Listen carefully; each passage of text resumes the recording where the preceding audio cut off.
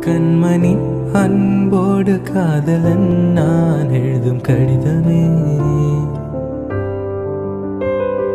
பொன்மணி உன் வீட்டில் சௌக்கியமா? நான் எங்கு சௌக்கியமே?